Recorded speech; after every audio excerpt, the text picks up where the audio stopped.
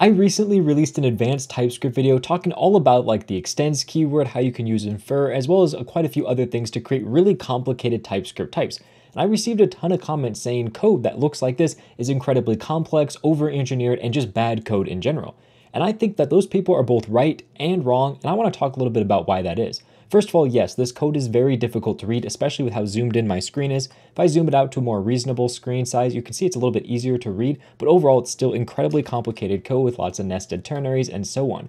And that's a little bit of a side effect of TypeScript. When you start to write more complicated code, the only way to do an if statement inside of TypeScript is a ternary, so you end up with tons and tons of nested ternaries, which gets rather difficult to read unless you're familiar with TypeScript and how they actually use these ternaries for if statements.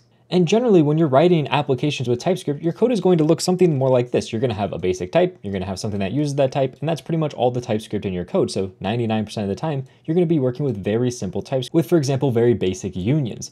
But as soon as you start writing code for libraries, that's when you need to start using these advanced TypeScript features. And the reason I needed all these features is because, for example, I was creating a translation app and I wanted to be able to translate, for example, what all my translation keys are. So I can see all my different translation keys.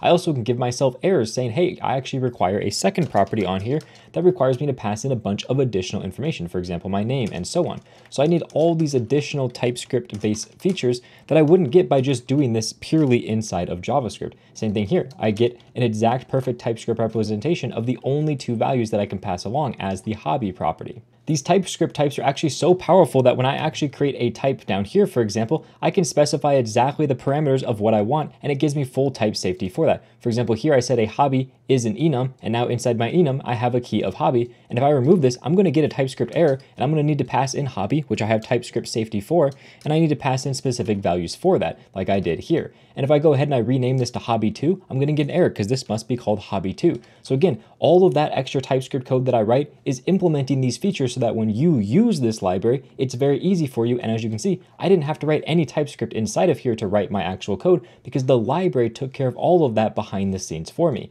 And this is something you'll see in almost every TypeScript library. For example, I copied down the types for a very popular TypeScript library for internationalization. And as you can see, the types inside of here are very similar to what I showed my application. We have lots of extends, we have lots of infers, lots of complicated nested ternary statements that are very difficult to work with and read, but that's just the reality of writing complex TypeScript for libraries. Usually the easier to use a library is, the more complex the types are behind the scenes. And sometimes in cases of like my application here, I actually have one-to-one -one TypeScript code to JavaScript code. So for every line of JavaScript code, I have a line of TypeScript code that is making that work behind the scenes to make it really easy for you to use that in your own application.